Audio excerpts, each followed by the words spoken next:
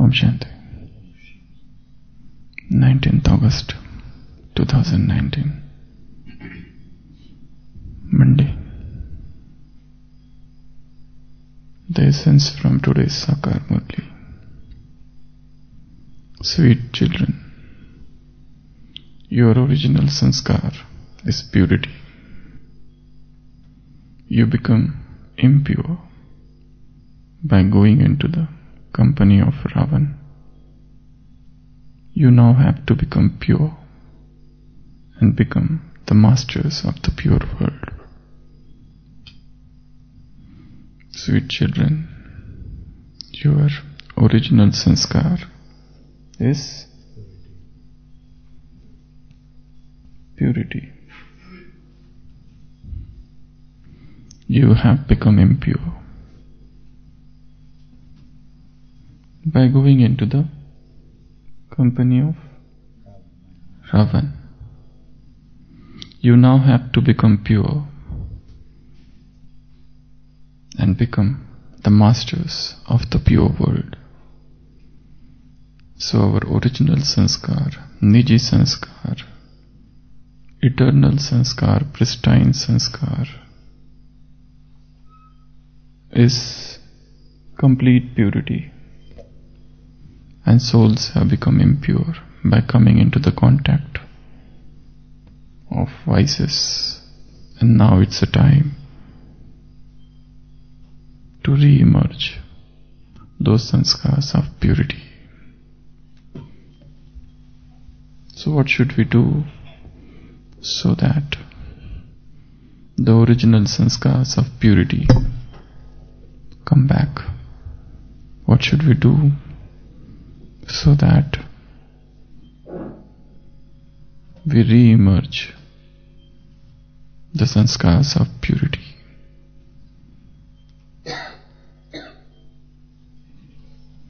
In today's Sakar, Murli Baba said, the cause of peacelessness is impurity.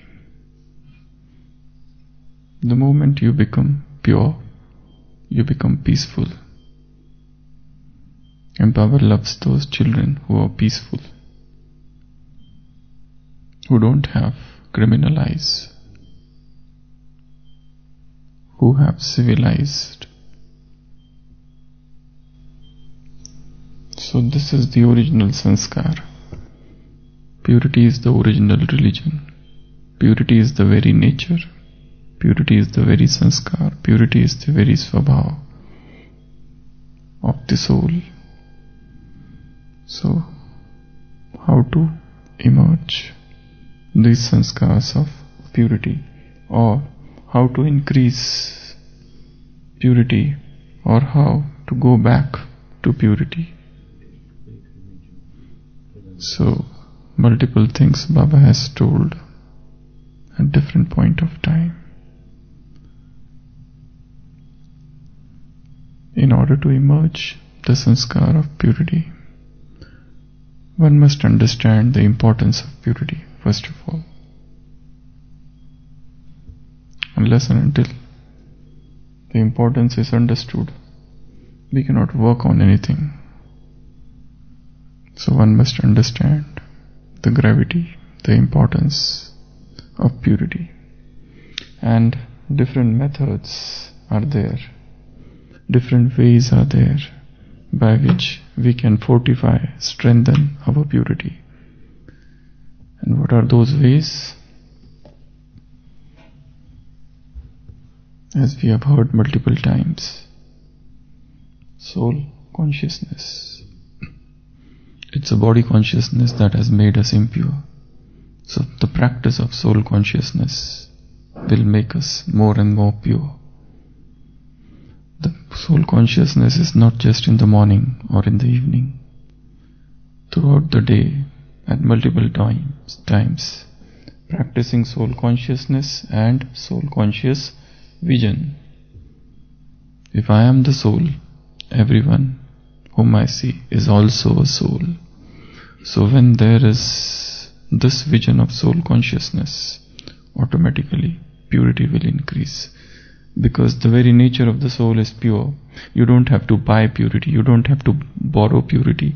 You don't have to take purity on loan. It's there inherent in it.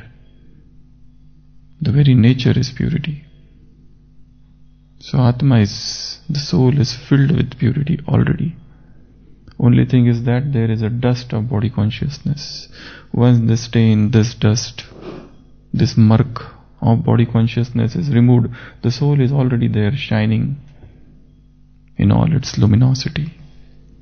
So the first thing is soul consciousness. The second is supreme soul consciousness.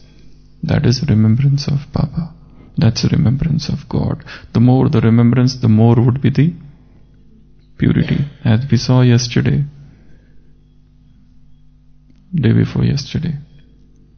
Remembrance leads to purity.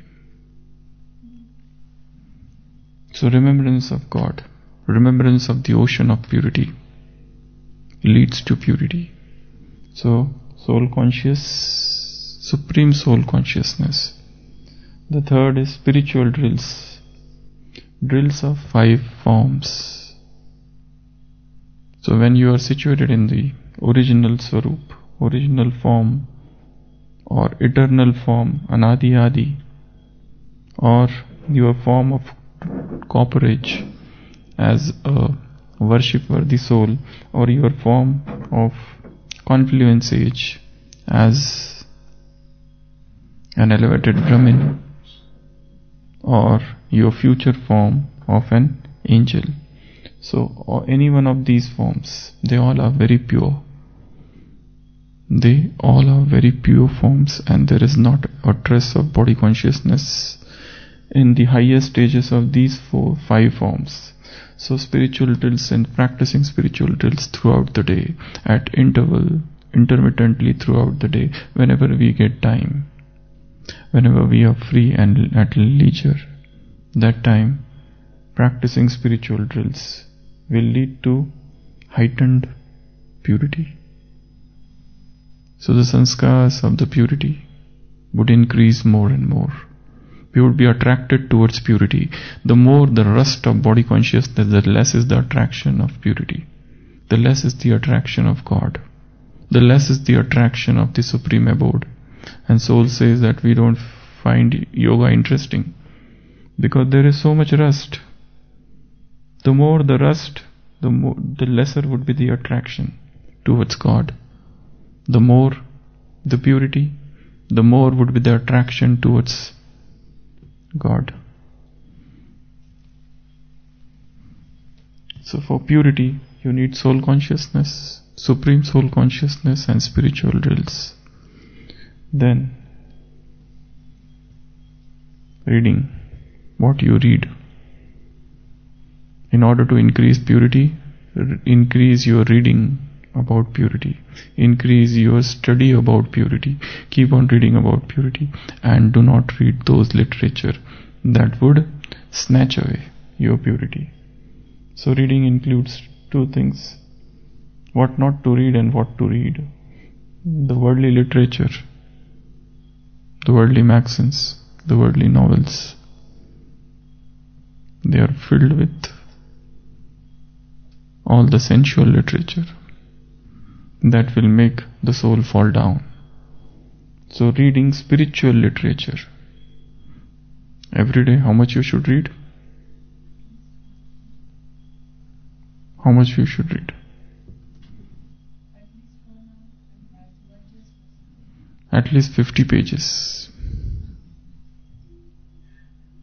At least 50 new pages. That could be anything throughout the day, we should be reading something or other whenever you get time, rather than wasting time in frivolous talks, rather than wasting time in pointless banter, in the worldly pratter. It's better that we devote our time in reading. And books are our never failing friends. Other friends may deceive you, may leave you in the lurch but friends, like books, they never leave you. They always stay with you. So make friendships with spiritual literature. make friendship with godly literature. So at least 50 new pages. 50. Or 25? If not 50. then listening. What I listen, what I hear. So listen glasses of purity. Listen to the words of purity. Listen all that is pure in the world. And refrain from listening to all that is vulgar, all that is worthless, all that is useless. Increase listening, more and more listening to the godly voices, godly melodies, godly music, godly songs. What songs we listen, they also make an impact. So, whatever songs you listen, they should be pure songs that should enter within. The words would create pictures in the mind. If they are worldly, they would create worldly pictures.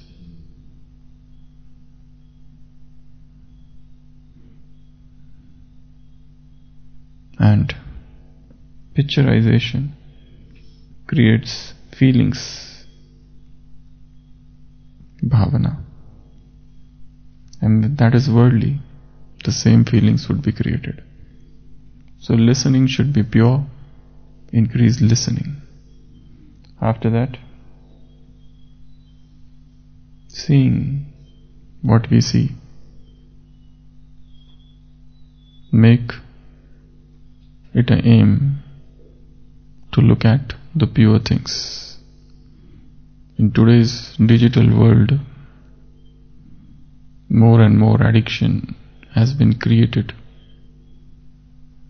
because of watching. So, what we are watching, what we see, that should be pure. See those pictures of the golden age. See pure souls. And seeing has very direct effect on the mind. What we see, we think about it. What we see automatically leads to churning. So, seeing, vision, then holy company, satsang, associate with pure minded souls, associated with souls who are striving to be pure. Try to be in contact with those souls who are intense effort makers, whose aim is purity, those who love purity. So, satsang, the company of the truth.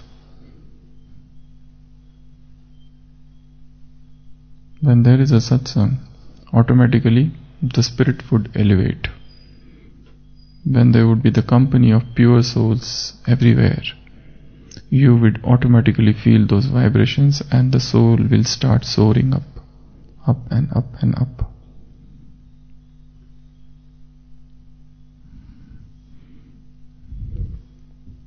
So, satsang. Next, for purity, you need vairagya. You need disinterest in the world. The more the interest in the world, the more the desires of the world, the more the worldly ambitions, the lesser would be the purity. Because desires make person restless. Because desires induce craving. And satisfaction of every desire leads to intense craving. It doesn't calm the mind. it leads to further craving, further yearning, further longing, and there is a restlessness, there is uneasiness. Every heart is at unease, even after the fulfillment of any worldly desire. There should be the feeling of vairagya. On Saturday, Baba said in blessing, emerge this vritti of disinterest, dispassion awaken this vritti of dispassion. So unless and until there is a burning, blazing vairagya, there cannot be purity. So the more the disinterest, the more would be the purity. For purity, what is needed is intense vairagya. Then Affirmations. Affirmation means self-talk. Affirmations means auto-suggestions. In the training of the subconscious mind, affirmations have got a lot of importance. You keep on telling yourself that I am supremely pure soul. I am supremely pure soul. I am supremely pure soul. I have to purify the world. I am the child of the ocean of purity. I am the master ocean of purity. My purity sustains the world. My purity is the nourishment for the five elements. My purity is the support of the world. In yesterday's Murli Baba said, You are the foundation. You are the special souls. You are the souls who are essential. You are the souls who have taken all the powers from the Supreme Soul. Through you is the foundation of the, is the expansion of the world. If He is the Chaitanya, seed. If He is the living seed, you are the foundation of this tree. You are responsible for everything that is happening in the world. If there is a disturbance in the foundation, there would be disturbance in the world. If there is a waste in the foundation, there would be the waste in the world. If the waste, if the foundation entertains impure thoughts, the wave of impurity will spread across the world. The leaves would become dry if the foundation is dry. If the foundation is shrinking, the world would shrink.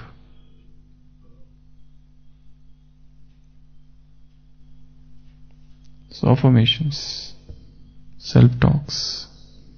Then visualization. For purity, you need a very strong weapon of visualization. Visualize that you are the supremely pure souls.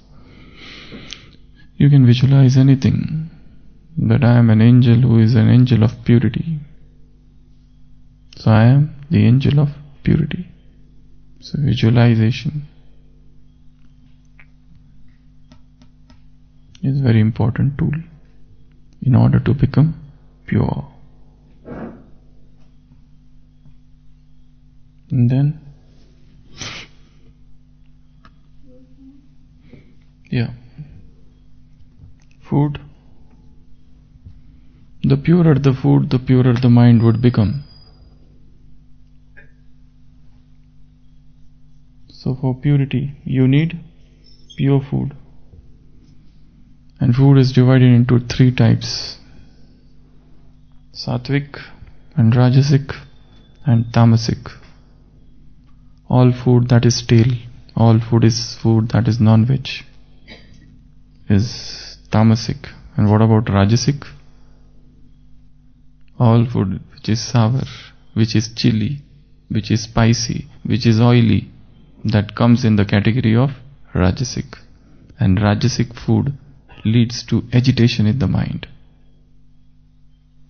For pure soul, we need sattvic food, sattvic diet. Don't think that just because you make your own food, it becomes sattvic. Sattvic food should be as less spicy as possible, if possible saltless, if possible oilless, if possible as simple as possible, if possible as natural as possible. So pure food leads to pure mind. So to re-emerge the sanskar of purity, you need pure food. The next place If you want to emerge the sanskars of purity, go to pure places. Going to impure places would emerge the sanskars of impurity. Going to pure places will lead to emergence of pure sanskars. So place is very important. So these are about 12 points. You can add few more like love of God. The more the love of God, the more would be the purity. And at last, remove all the triggers of impurity. We have so many triggers. And the greatest trigger is mobile. All that are triggers of impurity.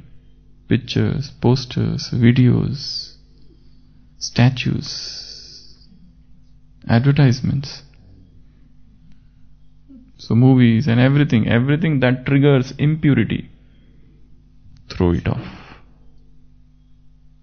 All the triggers of impurity should be removed. In today's Sakar Murli Baba said, make the pledge of purity. There are many who make the pledge of purity and then they go from here and everything is finished. And then they do atrocities on women. And Baba said, women are nirbal, they are very weak. They sit at home and they prepare food and to begot beget children and take care of the family. But men are strong, they go for war. But then this is what Baba said about the pratigya of purity. So for emerging, re-emerging of sanskars of purity, so many things are needed. Checking. You keep on checking yourself to what extent I have become pure and what are the causes of impurity and from where the impurity is coming, what is the source of impurity. As I said, remove all the triggers, all the stimuli, all the fillips of impurity. Even if a single door is open, the dust would enter inside. Even if a single crack is there somewhere, a small crack, the dust will enter. So become supremely pure. So today's essence is sweet children, your original sanskar, Niji sanskar is purity. You become impure by coming into the company of Ravan. Baba said in today's Murli there are certain sannyasis. They say one children, one child is must be there. Baba said they are thugs. Those who say like that, at least one child should be there. Thug is an English word. Also. That has come into English. So you become impure by going into the company of Ravan. You now have to become pure and become the masters of the pure world. So Baba has come to make us the masters of the pure world. In today's Sakar Murli, Baba said, You have not come here to become sannyasi. You have come here to become the masters of the world. So, what are the methods for achieving purity? First, soul consciousness, then supreme soul consciousness, that is yad, kiya, remembrance, then spiritual drills, then reading, listening, seeing, satsang. So, which company you are in, what you see, what you listen, what you read, that should be pure. Then, vairagya. Without burning vairagya, there cannot be any purity. Then, visualization, affirmations, food, place, love of God, and last, triggers. Remove all the triggers of impurity. Intense checking is needed. Why? From where the trigger is coming. So remove all the triggers of impurity. So, so many things are needed in order to become pure or in order to, because the sanskars of purity are already there. They are just covered. There is a gold and it is covered by mud. Remove the mud, remove the dust, remove the soil. Gold is already there. So soul is already pure. Soul is already golden. It has become impure, adulterated, contaminated, dirty. Just remove the dirt and the soul will shine on its own. So, sweet children, you have to become pure